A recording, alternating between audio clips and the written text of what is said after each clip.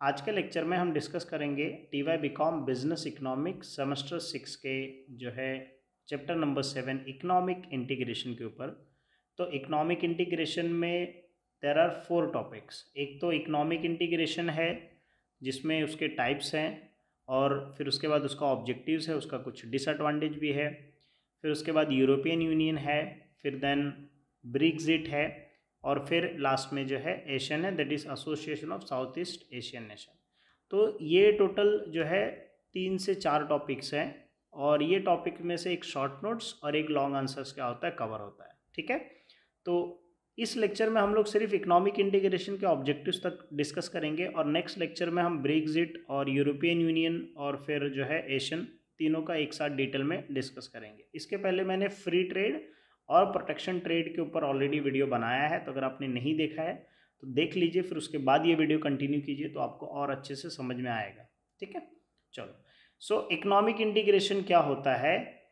Economic integration एक process होता है, जहाँ पे दो और दो से ज़्यादा कंट्री क्या होती हैं, एक साथ मिलती हैं, ठीक है? और एक बड़ा ग्रुप बनाती हैं, जिसमें वो लोग क्या करते हैं, जो रिमूव करते हैं ट्रेड बैरियर्स ट्रेड बैरियर मतलब जैसे एक्सपोर्ट इंपोर्ट करता है country A and country B if country A and country B exporting importing goods and services तो अब दोनों कंट्री के बीच में जो टैक्स लग रहा है, जो कस्टम यूनियन जो जो है आपको ड्यूटीज़ पे करनी पड़ रही, उसको पूरी तरीके से ख़त्म कर देना ताकि एक कंट्री दूसरे कंट्री से इजीली क्या कर सके ट्रेड कर सके। लेट्स एग्जांपल इंडिया और जो है ऑस्ट्रेलिया, फ्रांस या यूरोप ऐसे चार पाँच कंट्री के साथ क्या हो गया है फ्री ट्रेड हो गया मतलब इकोनॉमिक इंटीग्रेशन हुआ है। तो उसमें क्या कर सकता है इंडिया जो है माल बेच सकता है फ्रीली जो है उस पर्टिकुलर कंट्री में लेट्स एग्जांपल यूएसए में, और यूएस के साथ अगर इंडिया का फ्री ट्रेड हुआ तो यूएस वाला क्या कर सकता है इंडिया में बेच सकता है और इंडिया वाला यूएस में। तो दोनों में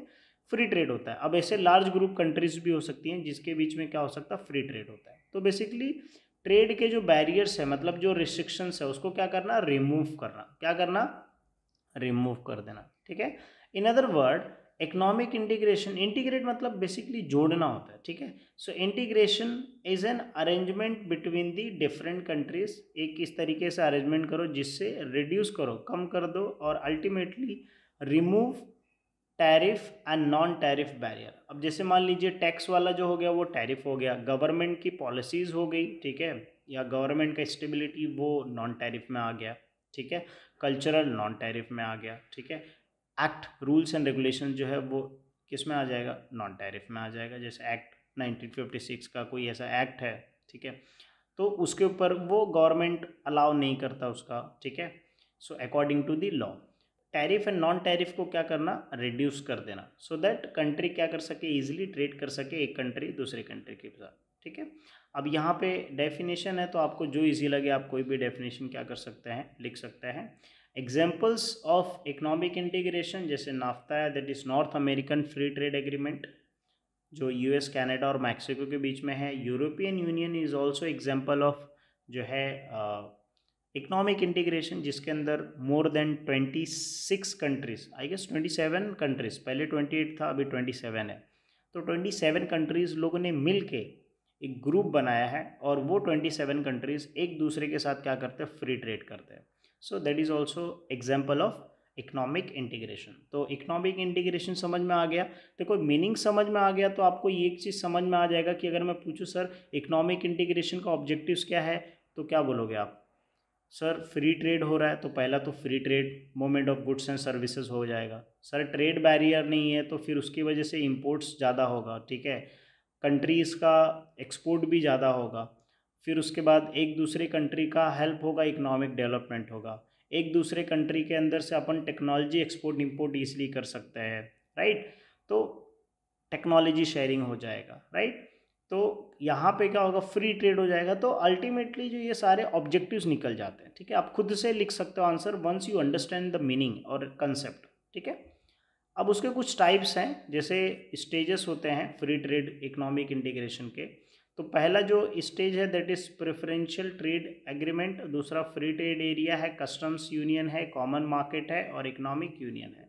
तो कोई ज़्यादा इज़ टफ नहीं है, एकदम ईजी है। अलग अलग क्या करते हैं कंट्री कि जैसे मान लीजिए कि जो है ए कंट्री और बी कंट्री ये दोनों के बीच में क्या हो गया? फ्री ट्रेड एग्रीमेंट हो गया that is F T A F T A हो गया है।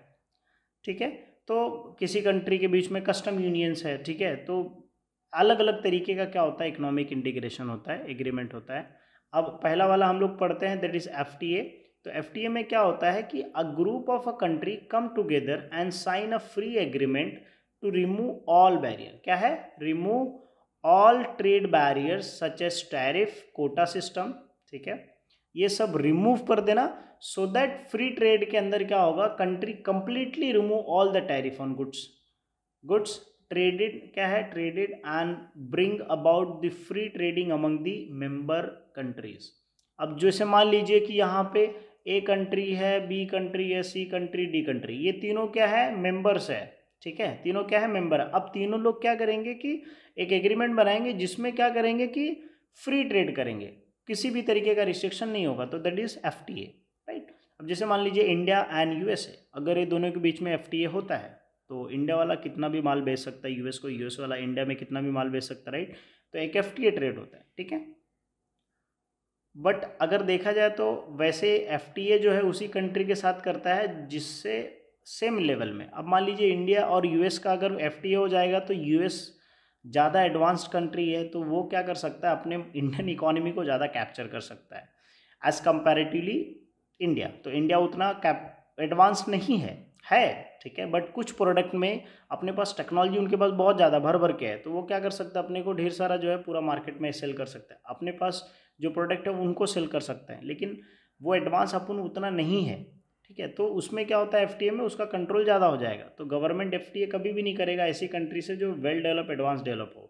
अब डेवलपिंग कंट्री है तो डेवलपिंग के साथ करेगा, जिससे एक दूसरे की इकोनॉमी को अपन फ़ायदा ले सके राइट कस्टम यूनियन अब देखो कस्टम यूनियन क्या है? रिमूव ऑल रेस्ट्रिक्शन यहाँ पे भी ऑल रेस्ट्रिक्शन था, लेकिन किससे था? ट्रेड बैरियर से। यहाँ पे क्या है? Trade among the member countries restrictions क्या करना रिमूव करना ट्रेड से related on the member countries and adopt a common tariff इसमें क्या हो रहा है? कॉमन टैरिफ हो रहा है when trading with the other और नॉन मेंबर कंट्रीज़ अब इसके अंदर मान लीजिए जैसे ए बी सी डी ये चारों मेंबर कंट्री है और ई e वाला जो कंट्री है वो अदर मेंबर है।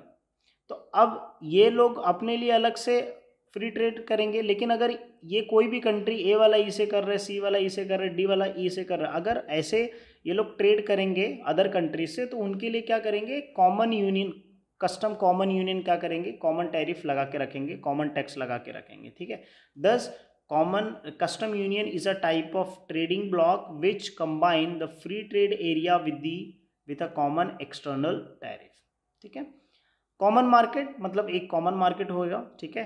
अब a group of country come together sign a agreement to have a free trade और movements factor of production that is labor, capitals among them, but adopt common, क्या है? Common external tariff मतलब जो member country को छोड़ के बाकी जो external member like non members है, उनके अगेंस्ट में क्या करना कि जो अदर मेंबर है, उनके लिए क्या करना है? कॉमन जो है टैरिफ कॉमन लगा के रखना कॉमन एक्सटर्नल टैरिफ लगा के रखना। Thus a common market is a custom union which is free movement of goods and services that is labour and capital within the common market के अंदर क्या कर सकता है? फ्रीली जो है मूवमेंट कर सकता है लेबर्स कैपिटल्स का। इकोनॉमिक यूनियन में क्या होगा? Economic union is a deep form of integration. इसके अंदर बहुत ज़्यादा मतलब फ्री ट्रेड हो जाएगा, कस्टम यूनियन रहेगा, कॉमन मार्केट रहेगा, है ना? तो ये जो है एक डीप इकोनॉमिक्स जो है इंटीग्रेशन होता है जिसके अंदर इकोनॉमिक इंटीग्रेशन होता है जिसमें फ्री ट्रेड रहेगा कॉमन मतलब कस्टम यूनियन कॉमन मार्केट रहेगा कस्टम यूनियन रहेगा सारी चीज़ें इसके अंदर क्या होगी कि सिमिलर ही होगी। मॉनेटरी यूनियन में क्या होता है कि कॉमन करेंसी क्या करना सेंड करना। कॉमन करेंसी सेट करना जिससे क्या करेंगे जो मेंबर नेशन रहेंगे वो एक दूसरे से उसी पर्टिकुलर करेंसी में क्या करेंगे ट्रेड करेंगे।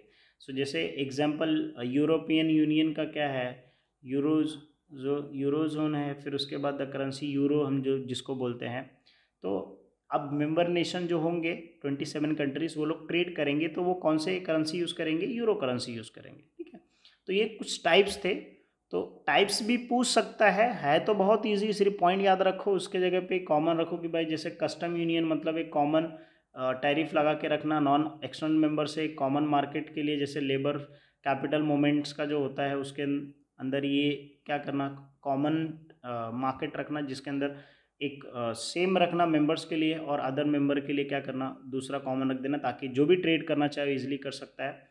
फ्री ट्रेड के अंदर क्या होता है कि यहाँ पे फ्री गुड्स एंड सर्विसेज़ जो रहते हैं उसके लिए टैरिफ रिमूव कर देना और इकोनॉमिक्स यूनियन में क्या होता है कि भाई पूरी तरीके से क्या करना इंटीग्रेट करना, ठीक है?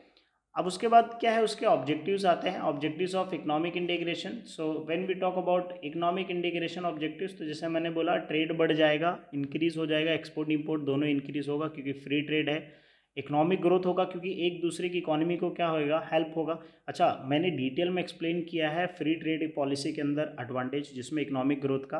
तो वो वीडियो आप देख लोगे तो ये कॉमन सिमिलर पॉइंट है। जैसे ग्रेटर इकोनॉमिक एफिशिएंसी एफिशिएंसी कब होगा? जब रिसोर्सेज का ऑप्टिमम यूटिलाइज होगा प्रॉपर अलोकेशन होगा। तो हमारे पास जो भी रिसोर्सेज है, उसको हम लोग प्रॉपर यूटिलाइज करेंगे तो उससे हम लोग ज़्यादा प्रोडक्शन कर सकते हैं। तो इकोनॉमिक इंटीग्रेशन से क्या होता है? एक कंट्री दूसरे कंट्री के रिसोर्सेज प्रॉपर ऑप्टिमली यूटिलाइज कर सकता है, ठीक है? जो भी रिसोर्सेज अवेलेबल हैं मेंबर नेशन के पास सो दैट उसकी इकोनॉमी को ज़्यादा से ज़्यादा वो प्रोडक्शन कर सके और बूस्ट कर सके, अपनी इकोनॉमी को हेल्प कर सके। कम्पटिटिवनेस मतलब इसके अंदर अगर इकोनॉमिक इंटीग्रेशन होगा तो ज़ाहिर सी बात है कॉम्पिटिशन होगा। फिर इनोवेशंस एंड टेक्नोलॉजी ट्रांसफ़र ये भी होगा, ठीक है? टेक्नोलॉजी इजीली ट्रांसफ़र कर सकते हैं। पॉलिटिकल स्टेबिलिटी रहेगी जो मेंबर नेशन रहेंगे, क्योंकि कॉमन इनका एक रहेगा रूल या कॉमन टैरिफ रहेगा। बहुत बड़ा मार्केट एक्सेस मिलता है, ठीक है? जिसमें इंटीग्रेशन में आप एक कंट्री आप ट्वेंटी सेवन कंट्रीज़ है तो आप खुद सोचो कि एक मार्केट जो होगा वो बहुत बड़ा होगा, जिसके अंदर आप अपना गुड्स एंड सर्विसेज़ सेल कर सकते हो डिफरेंट मार्केट्स में। और जब लोगों को एम्प्लॉयमेंट मिलेगा तो उनका स्टैंडर्ड ऑफ़ लिविंग भी क्या होगा? इम्प्रूव होगा। तो ये कुछ कैसे कॉमन पॉइंट आप खुद का भी, आपके बुक में कौन सा पॉइंट लिखा है, आप कौन से बुक्स को कमेंट करके ज़रूर बताना। तो ये सारे पॉइंट्स ऑलरेडी मैंने फ्री ट्रेड में एक्सप्लेन कर दिए हैं so no need to explain again but वो वीडियो आप देख लो तो आई एम श्योर समझ में आ जाएगा। बाकी आप खुद से भी फेकोलॉजी कर सकते हो, ठीक है? अब उसके बाद आता है यूरोपियन यूनियन तो हम लोग क्या करेंगे? नेक्स्ट लेक्चर में डिस्कस करेंगे कि यूरोपियन यूनियन क्या है। और फिर उसके बाद ब्रिक्जिट क्या है? और फिर जो है Asian South East Asian nation ठीक है? चलो, मिलते हैं नेक्स्ट लेक्चर में।